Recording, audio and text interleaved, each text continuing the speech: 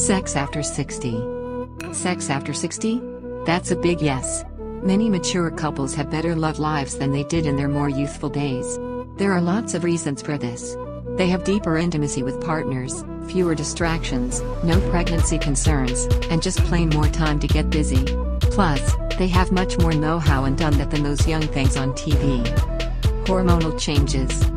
Around midlife, age 45 or so, new issues can temporarily dampen your love life, though. Sex hormones take a big dip. For women, menopause brings a plunge in estrogen and androgens. Your vaginal walls get thinner and drier. Men see a nosedive of testosterone and estrogen about the same time. This can make it difficult to get an erection, erectile dysfunction, or ED. Changes in the brain and your blood flow switch things up, too. Vaginal changes. The main sexual problems for women tend to be trouble getting to orgasm, lack of desire, and vaginal dryness. Your vagina shortens and narrows with age. It doesn't moisten itself as easily as before. This can cause pain when you have sex. Lubed condoms, water-based lubricating jelly, and vaginal moisturizers might do the trick.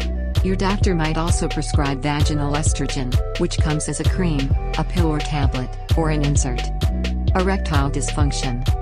The main age-related sexual problem for men is erectile dysfunction, or ED. Erections don't come, and stay, like they used to.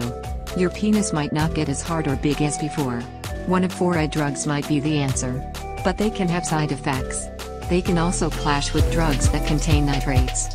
Be wary of herbs and supplements that promise a fast fix. Always talk to your doctor before you try them. Diabetes. Diabetes can cause ED for men, especially those with type 2. Poor blood sugar control can, over time, damage nerves and blood vessels that supply sex organs. Meds, a penis pump, or even a penile implant can help. Women with this condition can also have less feeling in their genitals. It also causes more vaginal yeast infections, which can irritate this area and make it difficult or unpleasant to have sex. But they're easily treated. Heart disease. A heart attack during sex might make for good TV, but it doesn't often happen in real life. Heart disease does make your arteries narrow and harden, so your blood doesn't flow as easily. You might find it hard to get aroused or have orgasms.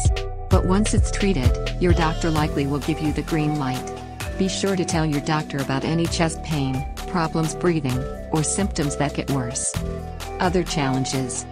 Other medical conditions that can affect your sex life include weight gain, arthritis, chronic pain, bladder control problems, dementia, high blood pressure or cholesterol, side effects from meds, depression, and stroke. Also, surgery, especially in sexual areas, can affect your self-image and how you feel. Talk with each other about ways you can stay close.